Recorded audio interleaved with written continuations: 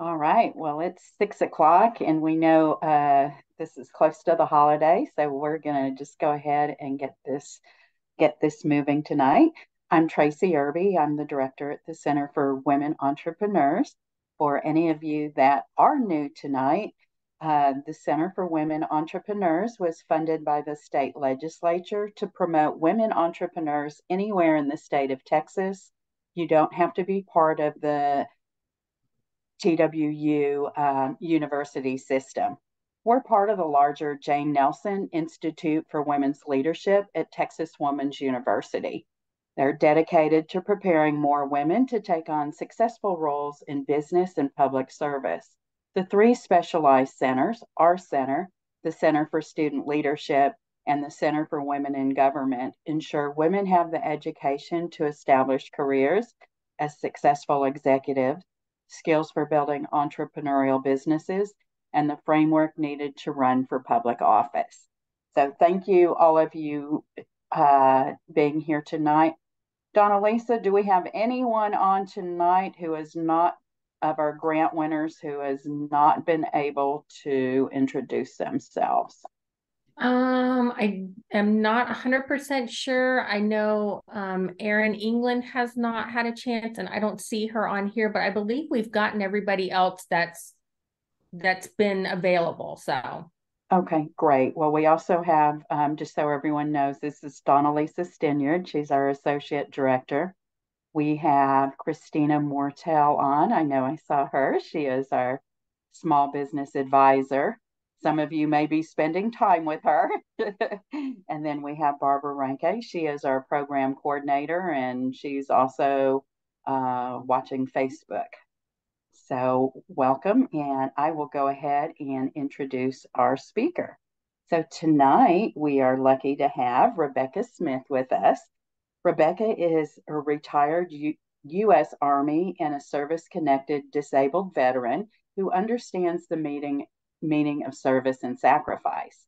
In keeping with her values of integrity and service, she started her own firm to assist business owners and individuals with their legal needs. When not in the office, she volunteers with San Antonio Legal Services Association, SALSA, uh, St. Mary's Legal Clinics, and the Veterans Legal Cl- Clinic, providing pro bono legal services to the un- underserved and veterans in our community.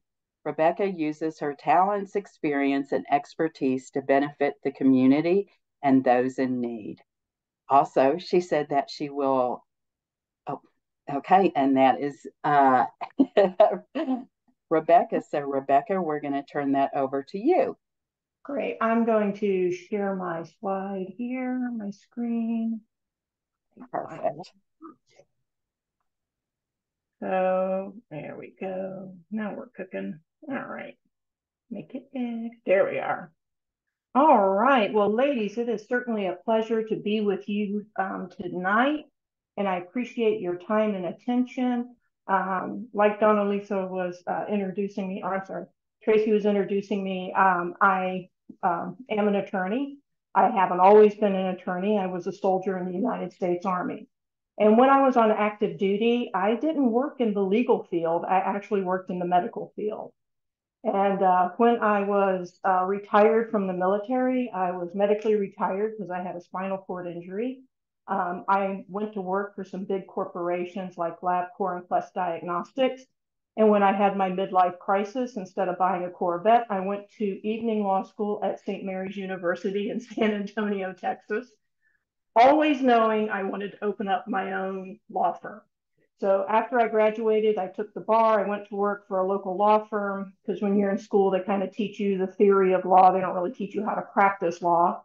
And once I had my sea legs, I did start my own firm. So I have the Rebecca Smith Law Firm. Um, I started it back in 2017. Um, my office is located in San Antonio, but I have clients all over the great state of Texas and beyond uh, because we do a lot of our services virtually and online. If you're like me, 10 minutes after this presentation ends, you're going to think of the question you wanted to ask. Or you may have a question that's very specific and very particular, and you don't necessarily want to put it in a chat box for the world to see. And as I go through the presentation, I'm going to be giving you guys a lot of information very quickly. Um, if you think of questions, type them into the chat box. At the end of the presentation, um, there'll be a, a, another minute or so to, if you have any last minute questions, but they'll collate all of those questions and send them to me via email. So that way you'll have all the answers in writing. And also it helps to make sure that you get the most information and the best use of our time. Um, but like I said, if it's a very specific question or um, it has a lot of very personal information, you don't want to put it in a chat box. I do offer an initial consultation, 30 minutes at no cost. Um, you can uh, schedule online on my website. There's a contact us page, or you're welcome to call my law office and, uh, you know, have my assistant Peggy, who uh, can help schedule you and find a time convenient for us to speak. So you can never talk to a lawyer without getting a bunch of legalese. Here's your legalese. The purpose of today's discussion is not to provide you with specific, nuanced, individual legal advice, but rather to kind of provide you with a 10,000 foot overview of the things you need to think about when deciding what entity selection would be best for you. Um, please do not act or refrain from acting based solely on the information you receive here. Rather, make sure you work with your team, talk to your business advisor, get in touch with the bookkeeper or accountant, uh, talk to your insurance person, competent counsel before making important decisions about your business. And while I am an attorney, I am not your attorney unless and until we conclude a formal legal agreement. And please understand that today's brief presentation essentially condenses about four semesters worth of law school into like a singing telegram. So it's not meant to be specific, nuanced advice, but it's important when you own your own business um, that you make informed decisions about your business, right? All right, here we go. Let's talk about business legal structures. If you go to the Secretary of State website and you look at all the different legal entity structures that are available in the state of Texas, it kind of looks like alphabet soup because there are LLCs and PLLCs and PCs and PAs and JVs and LPs and LLLPs. And each one of those particular entities um, are geared towards a specific industry or they may play a role in a complicated business structure. But for the purposes of today's discussion, we are going to discuss four ways that you can run your business, two of which I call the default, because this is America and we love business. And in order to be in business, all you have to do is provide a service or produce a product with the intent to make profit, and you're in business. That's all it takes. If you're doing it by yourself, you're a sole proprietor. If you're doing it with someone else, you're in a partnership. And then we're going to talk about two uh, entity formations that are done at the state level, one of which is the limited liability company, also called LLCs. LLCs made up 86% of the new business formations last year in Texas. So it's not a one size fits all, but it is a big shoe that a lot of feet fit into. And you'll see there's some flexibility with the LLC that um, can be advantageous to a small business owner. Um, and do understand too, LLCs aren't just for little businesses. Google is an LLC, right? So just because you're an LLC doesn't mean you stay small. And then we're going to talk about corporations because as great as LLCs are, sometimes being a corporation is the thing you need to be. So how do you know? right? How do you know whether or not you're okay just operating by yourself, right? Or whether or not you need to go through the time and expense of creating an LLC or corporation, an entity. And we even call them an entity, like something out of a science fiction movie, right? Because when you go through the, the time and effort to create that entity on the state level, right, you've created something separate from you. Because when you are operating your business as a sole proprietor or partnership, you are your business. There's no separation between the two. When you create that entity, now we create separation between yourself and the business, right? And your entity, right, can do everything you can do. It can sign contracts, hire and fire employees, buy property, get insurance. It can do everything you can do except for vote, right? So what do you need to think about? Well, here's a series of questions that you need to ask yourself. And I always tell folks begin with the end in mind. So for example, one of these are employees. So maybe when you first start out, you're not going to have employees, right? It's just going to be, you know, the big three, you, yourself, and I starting this business. But as you expand and grow, you may have a plan, and this is where business plans are important to eventually hire employees. So begin with the end in mind. And if as you answer these questions, you're like, I'm probably going to need to be an LLC, it's better to start off as the thing you need to be, right? Rather than try to convert later. So the first one is liability. And when an attorney says liability, what we're really asking is what's the chance you're going to get sued and if you do get sued, how bad is it going to be? Right. So you can think of it kind of like a riskometer. And the higher your risk is, the more you're going to want to separate yourself from the company, right? Because if you get sued as a sole proprietor, you're getting sued. If the company gets sued, it's just the LLC that gets sued, right? Um, and with that being said, there is no entity structure that takes the place of adequate insurance coverage.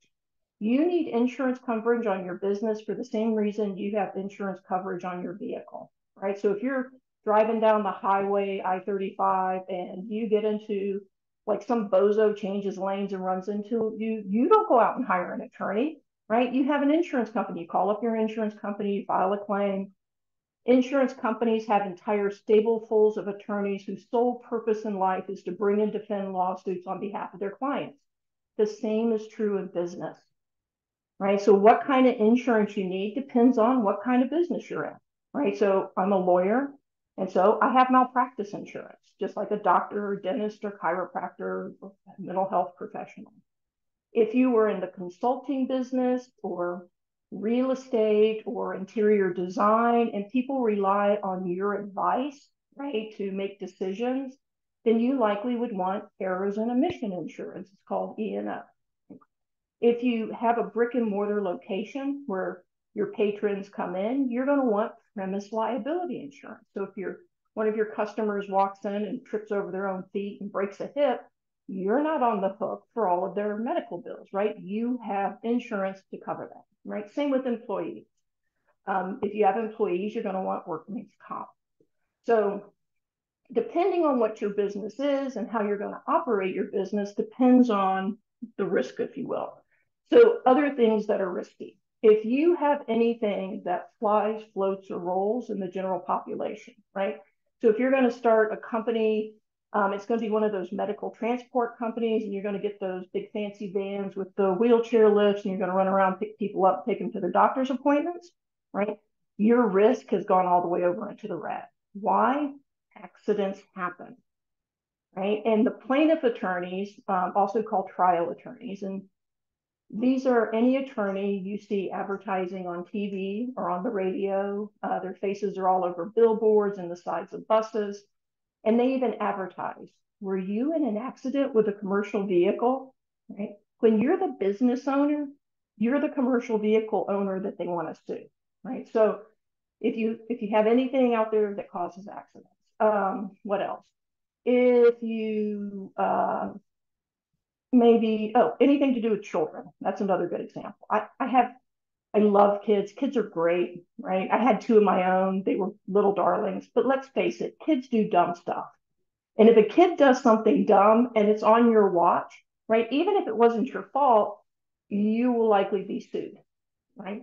Um, so if you have anything to do with children you run a martial arts studio right? And you're going to uh, pick up the little darlings after school and, and provide daycare for them um, or after school care. If you run any kind of uh, coding camps or sports camps or anything to do with children, right, risk goes up. Um, next, employees, right? So if you have employees, not only does your uh, riskometer go up, but also the reasons why people can sue you go up too. So when you have an employee, you create a special relationship between you and the employee. It's called agency. And it's kind of a legal mumbo jumbo term, but essentially it means that you as the employer are responsible for the actions of the employee so long as the employee was on the clock and doing the business of your business. So just kind of like kids, if your employee does something dumb, right, while they are working on the job, it's not the employee who gets sued, you get sued, right? So for example, let's say you're running a restaurant and uh, you get tired of paying the DoorDash and Uber Eat fees that are just really expensive. So you have this young busboy who's like super efficient. He's a nice kid. He shows up every work for work every day on time. And you said, hey, you want to make some extra money. So instead of busing on Friday and Saturdays, why don't you deliver the food for our customers and you can keep like extra money and all the tips? Right? Brilliant idea. Except um, the busboy gets in an accident while he's delivering the food, right? So now the busboy isn't the one who's going to get sued. If the plaintiff attorneys find out he was delivering the food, you're going to get sued as the employer.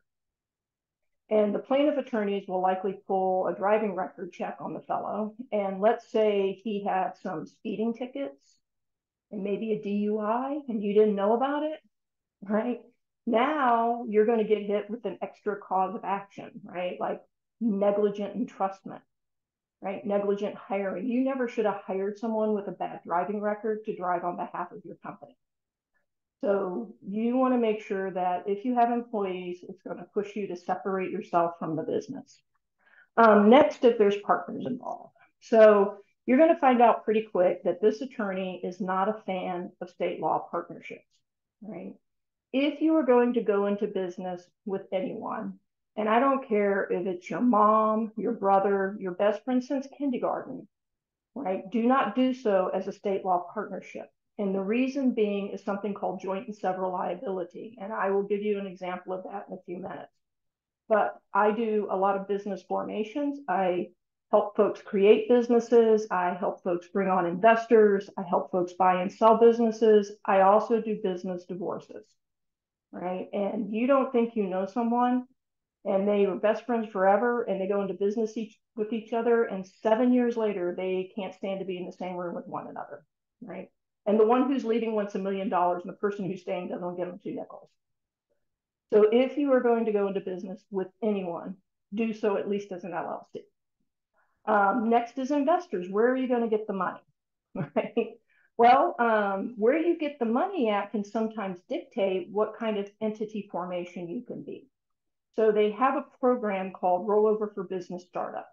So let's say you've worked for corporate America for many, many years and you have half a million dollars sitting in an IRA or 401k. You can use a portion of that money to start your business. But what you don't want to do is go open up an LLC and go pull out a couple hundred grand right? Because you're going to get hit with ordinary income tax. And if you're under 59 and a half, a 10% penalty, right? So it's kind of like taking money out of your retirement account at 47% interest. Instead, you go to a, company that specializes in these, and there's a bunch out there. Ask your business advisor. I know there's um, Guidant, Veritran, there's a whole bunch of them out there that do this, and they will start a C corporation. And then after the company's set up, the the other organization will do the rollover from your 401k into your new business. Right. And then there's no taxes and no penalty. And you get to use all of that money to start your business. Right. Um, let's say you have a dynamite business idea. It's like one of those products you see on Shark Tank, and you are going to actively seek venture capital and angel investor money. So my grandmother, God rest her soul, once told me that you can eat breakfast with the devil if you have a very long spoon. And the same is true of seeking funding from these private equity professional investors. And do realize these venture capitalist folks are professional investors and they will want a certain return on their money, generally in a fairly short time frame. And if you fail to perform, they generally have ways of taking over your company and you essentially become an employee for them. So if you are actively seeking these types of investors, Um, generally, they prefer to invest in Delaware C corporations. Um, you know, just make sure you have competent counsel helping you uh, and you understand everything you sign when dealing with those folks. Um, next is taxation. So for the purpose of today's workshop, you have to realize that the IRS thinks it's 1923 and not 2023. And in 1923, not very many people had phones, so the IRS is never going to call you up and demand a payment, right? It's always the same. We've been trying to get a hold of you. Uh, you're under criminal indictment. If you don't make a payment now, we're going to come and arrest you. It's bogus. It's a scam. Don't don't pay them. Also in 1923, there was no such thing as the internet, right? So you'll never get an email from what substantially looks like an IRS.gov return address saying basically the same thing. We've been trying to get a hold of you. You're under criminal indictment. We're about to seize everything and arrest you. Click here to pay now. Don't click there. It's a scam. Also in 1923, there was no such thing as a limited liability company. Limited liability companies weren't even thought of till the 1980s. They weren't adopted by all 50 states until this century. So for that reason, there's no such thing as a tax status for an LLC. So if you are a single member limited liability company, right, you'll start your business at the state level as a single member LLC, do all the business of your business as a single member LLC, sign contract, hire and fire employees, you know, buy property, whatever you need to do. But when the time comes for you to file your taxes, right, by default, you will file them on a Schedule C as if you are a sole proprietor. And then for a multi-member LLC, right, same deal, right? You and your friends start a company as a multi-member LLC, do all the business of the business as a multi-member LLC, separation between the owners and the business activities. But when the time comes to file your taxes, you will file their, your taxes by default on a partnership tax return. But limited liability companies have an option to be taxed differently. Limited liability companies can be taxed as a corporation. Well, why would you want to do that? Because it can save you a bunch of money. Understand that when you are in business for yourself, you will feel like the tax man has his hand in your front pocket all the time and how much he gets and when he gets it is all about tax management. So you can defer your taxes, you can delay your taxes, you can manage your taxes, the taxes you will pay. And I don't know if they said in my bio, I'm also a tax attorney, so that's helpful. Um, next, uh, oh, for taxation, corporations can be taxed one of two ways, either a C corporation or an S corporation. We'll go over those definitions in a bit. Next is succession or franchise planning. And when I say succession, it's kind of like that HBO show, but not quite so dramatic. Um, when you are going to start your own business, you have to have a passion for it. You have to have a fire in your belly to get you up every day to do the hard work that needs to be done to make your business successful. But what happens in 15 years from now or 20 years from now when you're in a very different place in your life? Right? What happens to your business when you don't want to do your business anymore? Well, if you're operating as a sole proprietor, you are your business. There's no separation between the two. So the only thing you can sell are the assets of the company. If you have created an LLC or a corporation, you can sell the entire entity, right? Because now you you have something separate from you. So you can sell all the membership shares of the LLC right? Or you can sell all the shares of the corporation, right? And for franchising, um, franchising can be very lucrative. Um, basically, you create a business in a box, um, but it is something that is governed by the Federal Trade Commission and Security and Exchange Commission. You have to be an entity to franchise, right? You can't franchise a sole prop. And finally, who's your customer? So if your product or service is geared towards other businesses, like a B2B type situation, businesses prefer to do business with other businesses. Because if a business is doing, you know, business with you as a sole proprietor, it's as if they're doing business with you as an individual. And then if your customer is going to be eventually government contracting, so let's say you want to get your entity up and standing, you want to get your certifications in line, you want to build your capacity, and then you want to start bidding on government contracts. And when I say government contracts, everybody thinks about the feds. And don't get me wrong, federal government has a lot, right? There are a lot of government contracts out there on all different levels. But the state also has contracts, right? And the county and the cities and even universities, right? So if you want to get into contracting, right, and that's what you want to do, you're going to need to be an LLC because if they give you a government contract as a sole proprietor, it's as if they're giving you that contract, right? And there are sort of a very few isolated incidences that that happens, but the vast majority of government contracting is done as an entity. So always begin with the end in mind. And if you're like, oh yeah, I need to be an LLC or a corp, be what you need to be before you get going.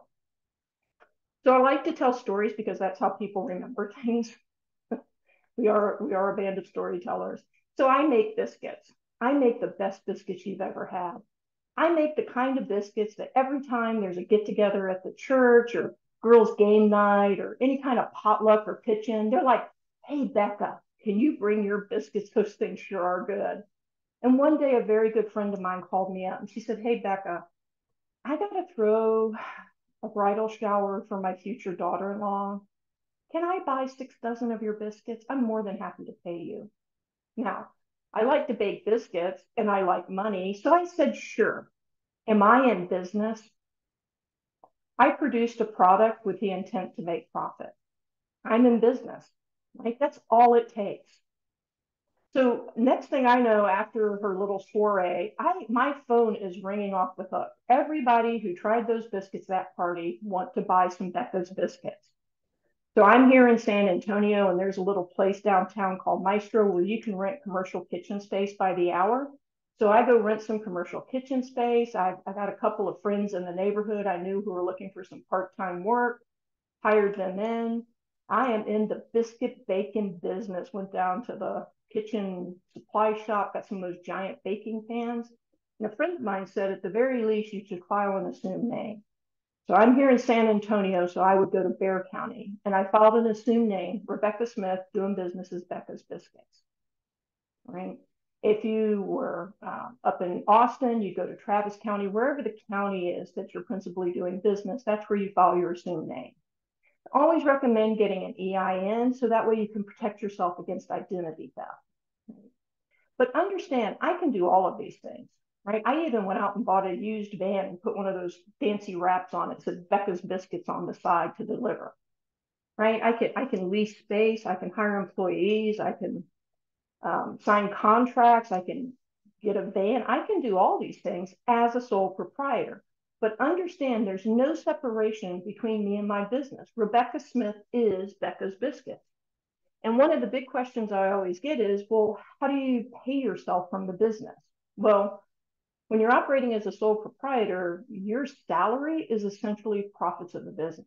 And if the business is doing well, you're making money.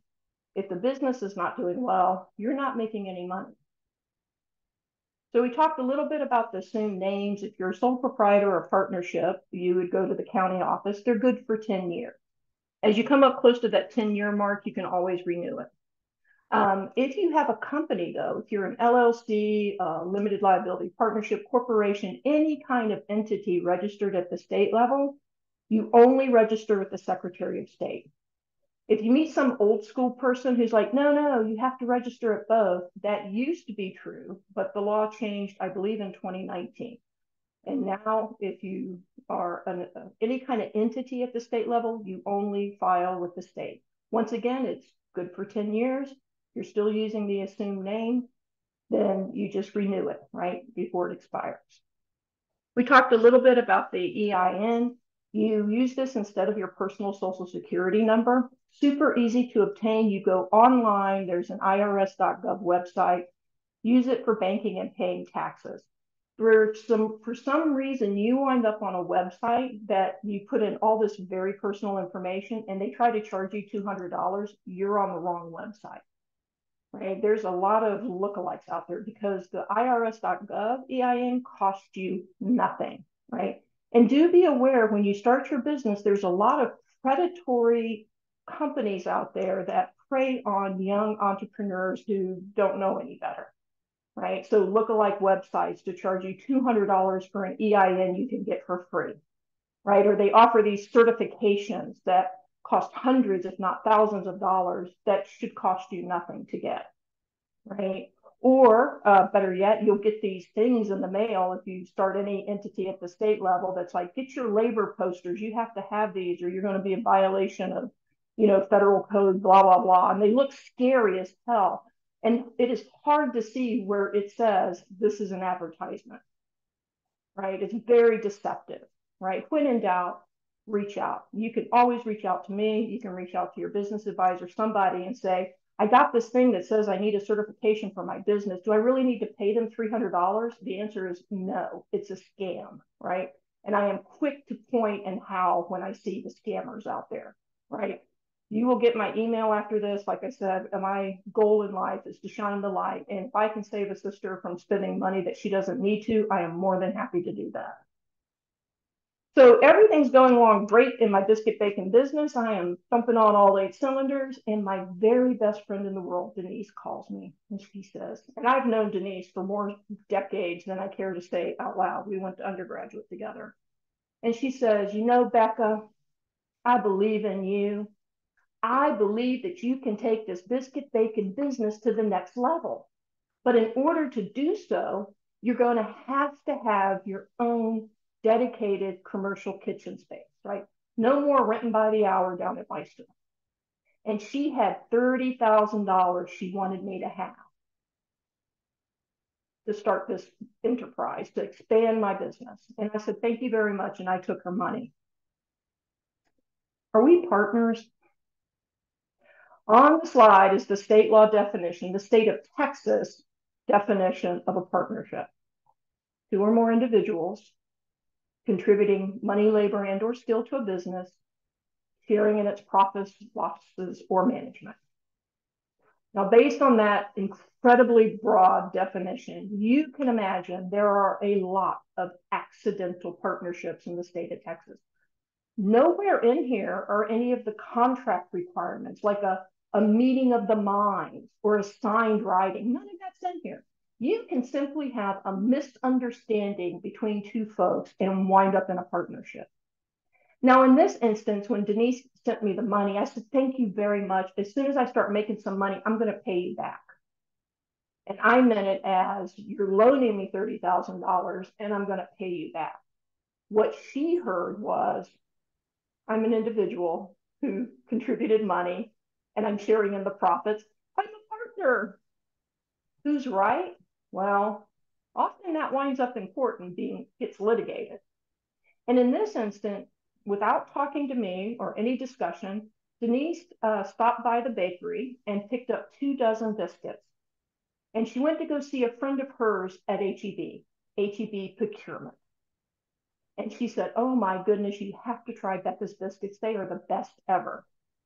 And that person tried my biscuits and said, Oh my God, these are the slam damnest best biscuits I've ever had in my life, and handed my friend Denise a contract, a requirements contract for 600 dozen biscuits a week. Becca's Biscuits was going to be in every HEB in Southeast Texas. We were going to be the next Texas primo pick. Now,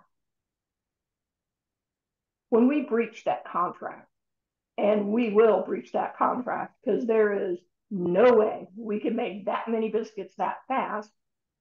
Who is HEB going to sue for damages? Well, they're going to sue both of us.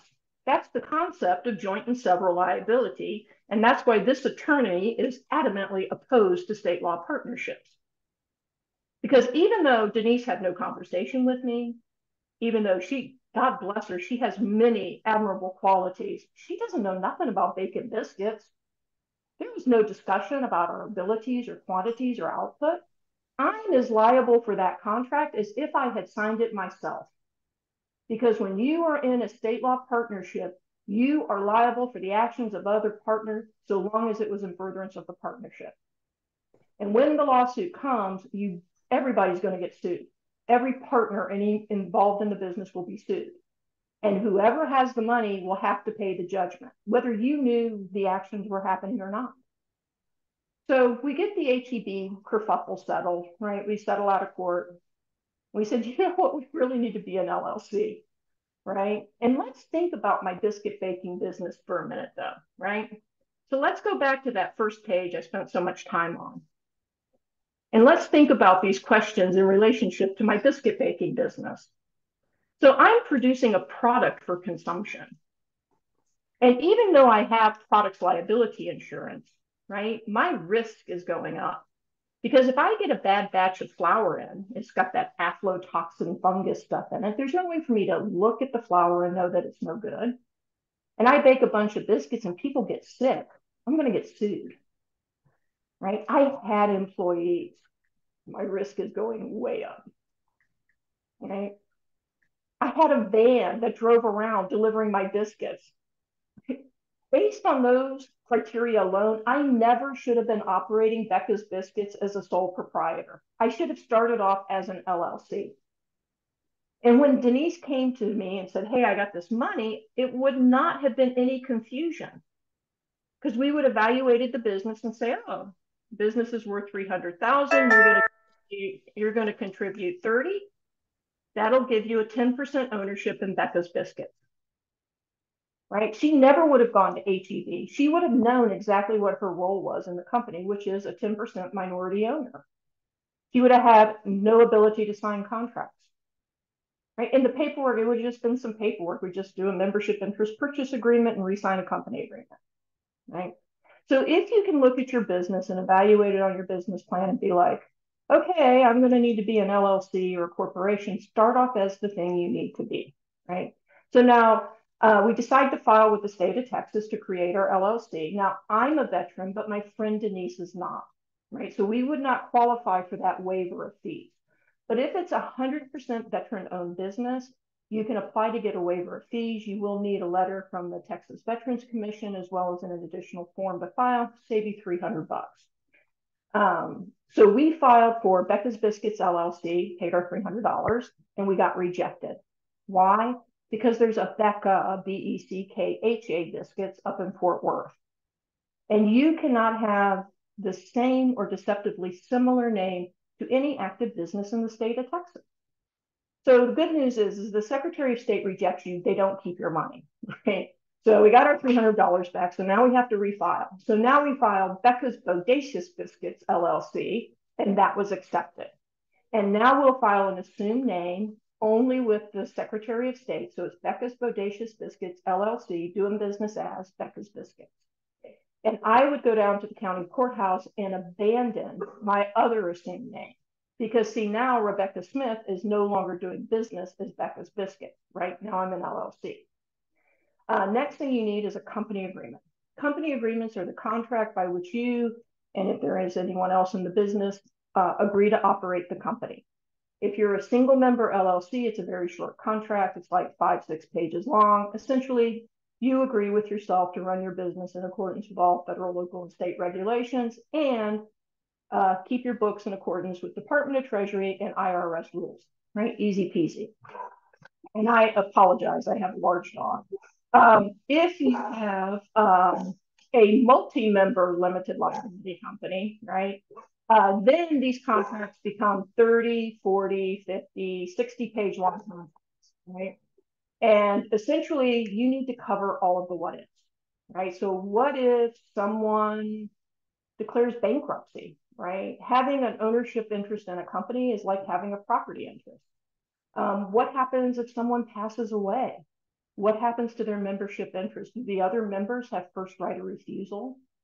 Uh, what if you have a company like my biscuit baking company, recipes are a trade secret, right? And so as a trade secret, like who owns that secret? Well, it should be the company, right? So we can have a section on there that is about intellectual property. So that way, if Denise brings her Grandma Betty's double Dutch brownie recipe to, you know, contribute to the company to increase our pastry offerings, then it belongs to the company, right? It's her, it's the company's property. It's not my property. It's not her property. Uh, in there, you can also include non-competes, right? Like, and also buy-sell agreements. Like, what happens if someone gets mad and wants to leave the company? Well, that's fine. You can leave, right? We'll pay you. We'll even put in a fair value clause. Like this is how we'll value your membership. We can agree, right? We can look at book value and we'll hire a business appraiser, right? We can decide ahead of time how we're going to resolve these things, right? And if you want to leave, we'll even set out payment terms like 10% down and equal monthly installments for three years or whatever works, right? All of these things can be decided ahead of time while everybody's still friends right? And before the money comes in, because you think you know somebody and then the money starts rolling in and people get squirrely, right? And you can even include other types of provisions. So if it's you and someone else and you both work in that business, right, equally contributing, well, what happens if someone gets into a terrible car accident and becomes disabled and now can no longer work in the business? Right? Like you can write in a disability clause like, you know, you got six months to recover. And then after that, we're going to force the sale of your membership. Because it's not fair to the other person to pull both loads while the other person is recovering. And likely they would have to hire someone to do their job. And let's face it, when you work in your own company, one person never replaces you. They usually have to hire three or four people to replace the one owner, right? Because you you will never work as hard for yourself as you ever did for anyone else, right? You'll work twice as hard for yourself right? All of these things can be set out in a contract signed. Cannot stress enough the importance of, a, of adequate company agreement. Next is a registered agent. There's a lot of confusion about what a registered agent is. Um, all registered agent is, is the, the person or the business who agrees to sign for service. What does that mean? That means if you get a lawsuit against you, right, who's going to sign for the lawsuit? Well, your registered agent does if you're an entity at the state level. Um, understand that the registered agent needs to consent, right? So if you get one of those virtual mailboxes at those UPS stores, the minimum wage kid behind the counter is not going to consent to sign when the process server comes with a lawsuit, right? So you need to have consent. Um, there's lots of companies out there that do registered agent service. I have one that's a woman-owned, veteran-owned business called Texan Agent. It's 50 bucks a year not expensive, right? There are all sorts of them out there. Uh, but you need to have one for your business. You can be your own registered agent, right? So if you have a brick and mortar location and you want to be your own registered agent, that's fine. If you have a, a home based business and you have some privacy concerns, then get a P.O. box for your principal place of business and hire a registered agent service. Because anything you put on that certificate of formation is readily available public information. Right? Next, it needs to have its own EIN. So I had been operating Becca's Biscuits, sole proprietor, Rebecca Smith. Had a bank account, had an EIN, was paying payroll, had employees, doing my taxes, the whole nine yards. Now I have Becca's Bodacious Biscuits LLC, doing business as Becca's Biscuits. It has to have a new EIN. I cannot port the EIN from my sole prop over into my LLC. So now think about all the things that's associated with your EIN. Now I'm going to need a new sales tax certificate because biscuits are prepared food. I had to collect sales tax. Now I'm going to need to re-sign all my contracts, right? Now it's not Rebecca Smith signing, it's Rebecca Smith, manager of Becca's Bodacious Biscuits. Now I'm going to need to retitle that car. Now I'm going to need to set up with both the state and the federal that Becca's Bodacious Biscuits is now the what we call a successor to the other company, right? At the, the state level as well as the federal level for the payroll taxes and all that good stuff, right? So if you know what you need to be, start off those things that you need to be, right? Begin with the end in mind, and you can avoid a lot of this administrative transition pain. So Texas is also a very easy state to do business in. Many states charge a fee every year for having a company active in the state. Texas does not. Texas requires that you file two forms every year if you have an entity at the state level. There's no cost to file these forms, right? You do them online, takes you 15 minutes. You don't need to have done your taxes. You just need to know the gross revenue for your business for the previous year. It's due by May 15th, right? One is called a franchise tax form. It's kind of misnamed. It should be called a business tax form, but this is Texas and we don't use like using business and tax in the same sentence. But you don't have to be a franchise to have to follow this form. You just need to have an entity at the state level. And then the next is a public information report. They're easy to do. You do them through the comptroller web file. Takes you 15 minutes. You can do them at midnight in your pajamas. And 15 minutes will save you $50 because if you miss the May 15th deadline, there's a $50 late fee. If you um, completely like mess up and completely forget about doing it, then they will eventually forfeit your entity and your right to do business in the state of Texas. And then it's going to cost you more money to get your entity back in good standing. Um, and let's say you started your LLC, you planned on getting it going, but like life happened, the you know, the money fell through, the kids got sick, the dog died, the husband got super needy, whatever, and you have zero gross revenues, you still need to file that franchise form, right? Good news is, is you will not owe tax if your business grows, unless your business grows more than $1.23 million, right? We should all be so blessed as to owe franchise tax someday. So it's important that you understand that the, the business is, they call it a hybrid.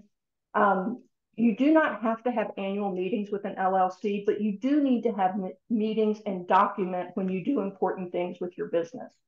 So even if you're a single member LLC, you need to have a meeting with yourself and after much thought and consideration, determine that it's in the best interest of the company to do X, Y, and Z. And then now, therefore, resolve, we're going to do these things. And then empower yourself to sign documents, right? And then you sign it, member of whatever LLC you are. Um, if you're a multi-member LLC, it's even more important to make sure we have membership agreement on things. Um, understand that there's no, it's called pass-through taxation. That's fancy lawyer speak for all of the profits and all of the losses passed to the owners of the company, right? The entity itself does not pay tax the people who own it pay tax. And you have that opportunity to choose to be taxed differently, right? You can choose to be taxed as a corporation. Very easy to do. It's just some paperwork you fill out with the IRS and send it in, right? IRS waves their magic IRS one says poof, now you're an S corp. Now instead of a, a 1065 or Schedule C, now they're going to be looking for an 1120S from you, right? You have 75 days from the date your entity is started to choose an S corp election or every January 1st to March 15th. You can make that S Corp election. So if you're just getting your business up and running in the first year, maybe you make like 30 grand net profit.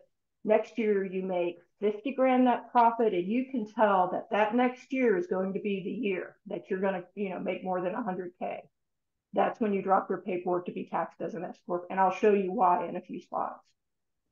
I cannot stress enough, you must keep the entity separate right? If you are going to form an LLC or a corporation, anything at the state level, I tell folks treat your business like your favorite second cousin, right?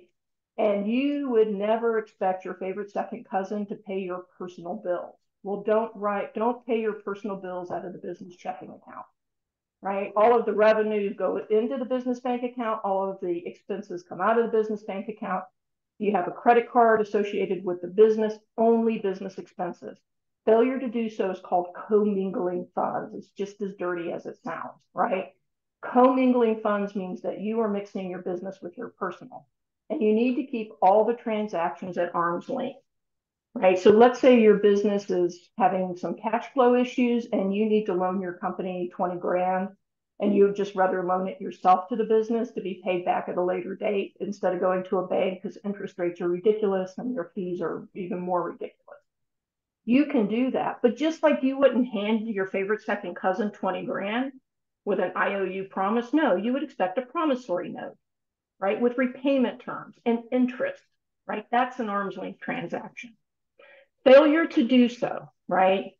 You know, and, and no one ever expects the lawsuit, right? We're all bumping along, just, you know, doing our thing, making money, making our business successful. And then boom, you get hit with a lawsuit right? If you've been running loosey goosey with your company and those plaintiff attorneys think that they can establish what they call alter ego theory, meaning you didn't treat your company like a company, you treated your company like a giant piggy bank, right?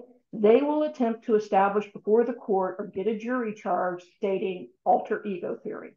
And they will request that the jury strip your entity of its status and reach through. It's called piercing the corporate veil so that they can get to you personally. So if you're going to go through the time and expense of creating a company, treat your business like a business, right? And that way you can avoid this alter ego theory. So if LLCs are so great, who needs corporations? Well, corporations have built-in power structures, right? You got to have a board of directors. You have to have officers. You have to have shareholders. Good news is this is Texas and one person can do all of those roles, right? But let's say you're going to start an oil field servicing company with you and 12 of your family members. Might want to be a corporation, right? Because now we have defined power roles. And that way, if you really need Aunt Mary to be the secretary and treasurer of your company, right, because she has 30 years of administrative executive experience, but she won't be a part of the company unless you give lazy cousin Larry a role, well, you can issue him some stock because corporations can issue 10 million shares of stock or more when they are created. LLCs only have 100% membership interest right? So you can get a lot more pieces of the pie for folks to go around. Also, you can create, if you have a C Corp, multiple classes of stock. You can have founder stock, preferred stock, common stock. That's how Mark Zuckerberg keeps control of Facebook. He has founder stock, has disproportionate voting power, and disproportionate dividends. Uh, I put the cons as the time and cost of incorporation. It's the same, 300 bucks. Um, also waivable if it's 100% veteran owned but there's a lot more paperwork. You got to have bylaws. Usually we're doing shareholder agreements, we're doing vesting schedules. Um, there's just more paperwork and basically more paperwork means more lawyer time. More lawyer time means higher fees. And do be aware that if you are taxed as a C corporation, then you will be subject to that 21% corporate tax on your profits. It's called, they call it double taxation. Um, but yeah, that's there. Uh, the C corporations are taxed as a corporation, that's that double taxation, but they can retain earnings. All the other entities are pass through, right? Even the S corp, pass through taxation, not a C corp. C corps can retain earnings. Um, they have a lot of flexibility. Anything you see on a stock exchange or in a mutual fund or brokerage account, always a C corp, right? S corporations are the darling of the business world, but they have a lot of rules, right? Um, they do have that pass-through taxation, so no taxation to the entity, but they're limited, only 100 shareholders, right? No more, uh, no, only one class of stock. So when you see founder stock, preferred stock, always a C Corp, never an S. All of the shareholders must be US citizens or legal permanent residents. So if you want to start an LLC with the best friend that you met in the Peace Corps, who's a Belgian citizen, that's fine. You can't choose an S Corp election. And finally, cannot be owned by corporations, LLCs, partnerships, various. I call this the real life human being test. In order to be in an S corporation, you have to be a real life human being, right? So if you're courting that venture capital money, they will never invest in an S corp because they themselves are entities, right? They're limited partnership, LLCs, or corporations. So how does being taxed as an S corp save you money? So let's say my biscuit baking enterprise uh, made 220 grand in a year. I mean, I baked a lot of biscuits and my expenses were 120K. I net profited 100,000 bucks. That's a lot of money for baking some biscuits, right? Happy, happy girl. But if I'm taxed on a sole proprietor, I have to pay self-employment tax, right? 15.3%. So I think we all remember the first time we got a paycheck and we're like, who's FICA and why are they taking all this money out of my check? When you are self-employed, you are responsible for both halves because what you see taken out on your W-2 check is only half of what was sent into the federal government. When you're self-employed, you are responsible for both halves of the payroll tax. And I'm a single lady, so I got to pay single lady tax. So my taxes are like 17 grand on my 100K. Your mileage will vary depending on your marital status, household income, and how many little tax deductions you still got running around. All of mine have left my house. So at the end of the day, I kept like 67 grand, right? I am pulling full freight on my taxes here.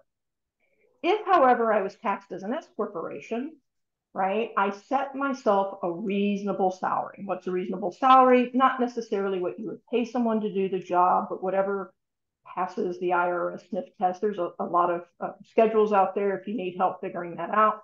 In this instance, I set my reasonable salary at $50,000. That's 25 bucks an hour. I'm a bakery manager. That seemed fair. But remember how I said it was pass through taxation?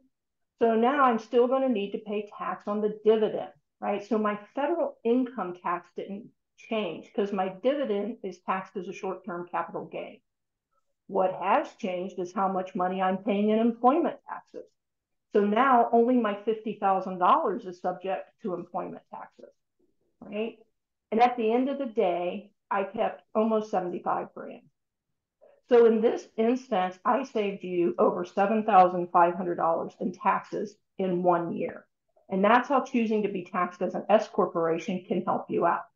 So remember, easy to do, hard to undo, right? And if your entity isn't regularly generating enough income to support your salary, right, then don't choose an S corp election because they're very hard to revoke.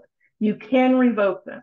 If you do a revocation, they generally won't let you choose a different tax election for five years. I did, I'm running out of time. I did want to touch on the Corporate Transparency Act. This is something new that's starting January 1. So if you create your entity on or after January 1st of 2024, you will have 30 days to register with the Federal Crimes Network.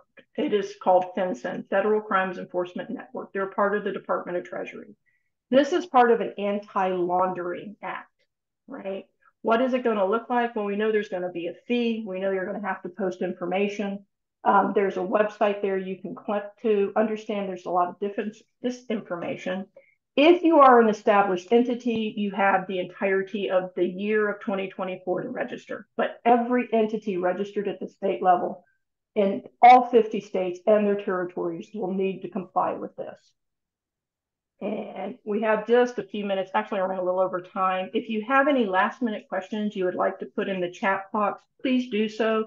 The good folks there at the Texas Women's Center will compile them and send them out by email to all of the folks so everybody gets the answers. And um, I appreciate your time. Thank you so very much for having me here. It has certainly been a pleasure to speak with you all.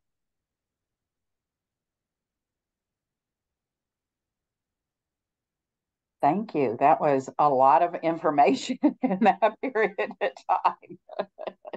like drinking from a fire hose, yeah. okay, so um, then everyone's going to get the the um, questions. So we're going to send you that, and then that those questions will be answered and sent out to everybody. Absolutely. Yes, I've grabbed all the questions. So if you've got any more, this is, you know, going once, going twice, gone. Got it. I just had a vision of someone frantically trying to type it in I think one just made it. And then, of course, you can always reach out to my law firm. I do offer that initial consultation, no charge. I'm happy to speak with any of the participants and answer any of the questions they might have. Okay. Um, so, Maria, if you have questions, put them in the chat. I'm grabbing them. Those will be sent to Rebecca. She will answer them um, via email and send me the responses back, and then I will send them out to everybody. Okay, because there were quite, yeah, there were quite a few. And again, if some were specific, you will get uh, Rebecca's information from Donna Lisa. Everybody will receive that. Yes. Okay. And just FYI, really quick, sorry, Tracy. Um, I will, I'm going to copy and paste these questions to Rebecca immediately after this but we were out of office tomorrow for the holiday. So all of this will come Monday on Monday. Excellent. So, yeah. Well, thank you so much for having me, and I wish everyone much success in their businesses. Right. Thank you so much. Um, I do know we have Erin. Are you still here? Yes, Erin England. Yes, you are. Okay. Yes. I think you're the only one who has not been able to introduce your company. So if you want to tell everybody a little bit about you, uh, you and your business, that would be great. Yes, for sure. Thank you. Sorry about that. I missed y'all last time. Here, let me see. It's a no makeup day, but I do have a diaper concierge shirt on. Can you see me? Yes. I can't hear you now. You were just muted. How's that? There, you're back. Okay, and you're getting a tour of my office. Okay, hi, Erin England. I'm based in Dallas and I founded Diaper Concierge, and it essentially is diaper vending machines in public places. So we have vending machines, they're mounted on the wall, they're super cool, they're sleek, they're they look and function like your iPad. You might have seen them, hopefully. That's the greatest compliment. Right now we're at um, DFW International Airport in Terminal A and soon to be Terminal C and D by the end of the year. Really excited about that expansion. And then we're in Dallas Love Field, um, you know, the regional airport here. We have four machines there. We're at SMU Football Stadium. We're going Comerica Center. We're going in Kidzania. We're trying to get in all these high traffic, family friendly places. And I and think that's it. I, I found it in 2019, but we hung our first uh, machines in 2021. So I'm just over two years of uh, uh, in revenue, which is a great place to be. No more conceptual. Yay! Well, we're we're happy for that, and um, our grant was going to help with those, right? The yes, it purchased uh, almost one machine. It, it's very helpful. I bought I bought four right. more. Yeah. Great. Well, Liz said she saw one over the weekend. So Oh, wonderful. Thank you, Liz. be, be sure and buy something. Go buy something. there's diapers and there's wipes and there's hand sanitizer. The wet wipes are our biggest seller. Funny enough, uh, people use them for everything while they're on the go. So not just not just babies. Yeah, yeah, that's great. So um, Erin had also been in our Accelerate Her program, and I think I found it interesting. Did you? What was it? Was you do more sales in men's room, or there was something about the men's room that we would? Yes, yeah, fun fact: the the men's room at Love Field is our highest selling unit. So we have about to have eleven machines, and that one, for whatever reason, and this group of women will love and hate this. When I first went into Love Field, we were having the initial conversations. I said, "Okay, I've got four. I'd like to do some in the men's room, some in the women's restroom." And they looked at me like I had two heads. Like, why in the men's restroom? Why would you? Ugh, so frustrating. So we ended up with one in the men's and then three in the women's. And wouldn't you know it, the men's is our bestseller. Think you never know. We can't assume yeah. anything. yeah. 2023 and they don't understand. Anyway, we'll we'll teach them. Thank you, Erin. Thank y'all. It's been great. All right. Donna Lisa, have you got what does anyone just have any general grant questions? So we we are um, getting your supplier numbers, and it is going to the next process. We don't know when payment is coming out yet. Again, this happened right as they were transitioning to uh, a new technology financial system. So um, hopefully um, on our next meeting, we'll know exactly or have a better idea of when things will be going out. I, I have a quick question, Tracy. Yes. Um, okay, so we we were to give that list of items that we wanted to purchase you know, would use. Now, what if over the time course of time we've realized uh, you know we that a few things are not as either a priority or that's as fine. needed? Yeah, that's fine. You can just send okay. a note, you know, instead of this, I want to do that. Or if you're okay. pivoting quite a bit from where where you were, um, just just okay. through submittable say hey i want to do this instead and that's fine and sometimes people find things on sale and then they end up having more money and need to okay. you know than yeah. they yeah